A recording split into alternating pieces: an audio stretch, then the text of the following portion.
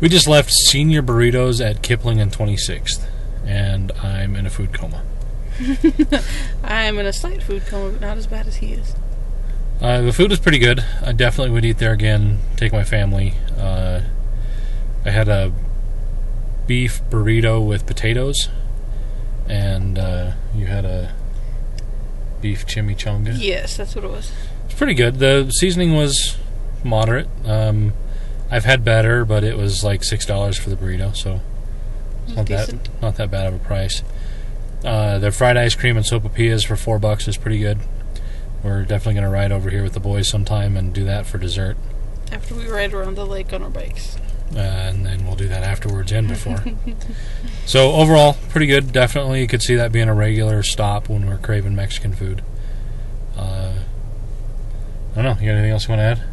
But I think you pretty much said it all. That Nope. was good. That's it. Yep. Senior burrito. Uh, if we were going to give it on a five star rating, what would you give it? I don't know, maybe a four. Yeah, I'd give it a three and a half or a four. Uh, but I'm pretty picky, so try it. Let us know what you think.